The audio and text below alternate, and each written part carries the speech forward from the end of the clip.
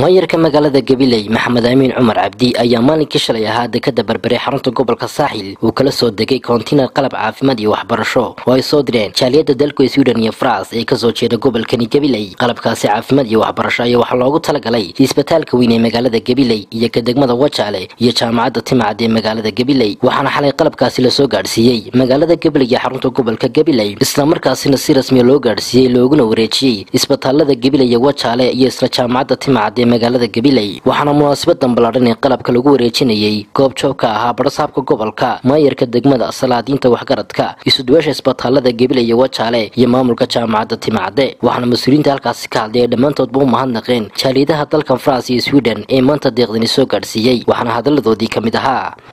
Maanta halka waxaan u joognaa qaybinta qalabkii caafimaad iyo waxbarasho ay soo direen labada jaaliyadood jaaliyadda faransiiska ee gobolka gabiley iyo jaaliyadda swiden ee gobolka gabiley qalabkaasi oo loogu talagalay qayb loogu talagalay toddobiyo toban aytam oo ka mid a qalabka guud ahaan wuxuu ka koobnaa guud ahaan toddobiyo sagaashan aytam oo kala duwan buu ka koobnaa.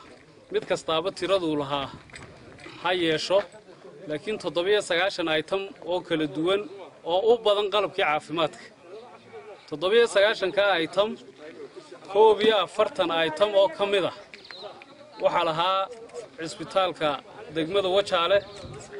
Siddeed iyo soddon aytam oo ka mida waxaa lahaa cisbitaalka gabiley toddobiyo toban aytam oo ka midana waxaa lahaa jaamacadda timacda university.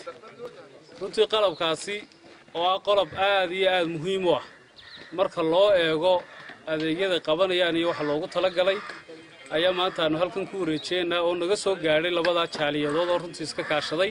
Yadda reer gabiiley ee sweden iyo dalka faransiiska ku dhaqan alaabtan oo loogu talagalay in loo qaybiyo jaamacadda gobolka gabiley isbitaalka dhimirka iyo isbitaalka weyn iyo isbitaalka wajaale saddexdaa qolo ayaa loogu talagalay waa jaamacadda isbitaalka weyn iyo isbitaalka wajaale alaabtan waxay noogu soo deeqday jaaliyadda reer soomaaliya ee reer gaweyley ee sweden iyo faransiiska.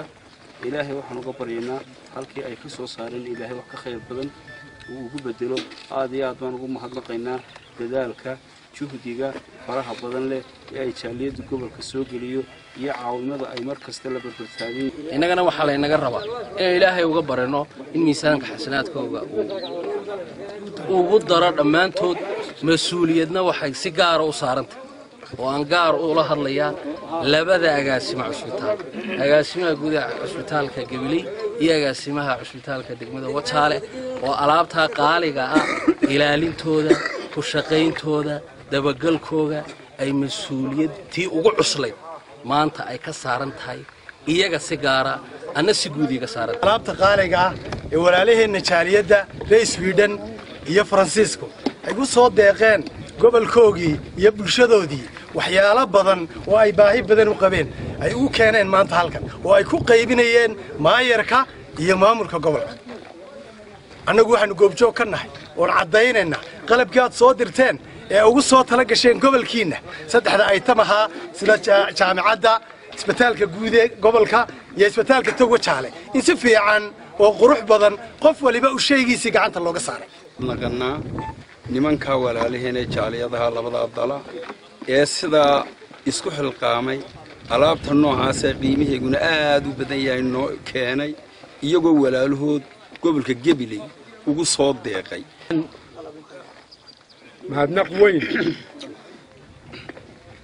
Ugu mahadnaqaynaa labadaa jaaliyadood ee faranse iyo kala jooga skandinabiyanka waxaan filayaa laga bilaabo lix iyo sagaashankii ilaa maanta. Gobolkan gabiiley wixii ka socda waan dhex socday.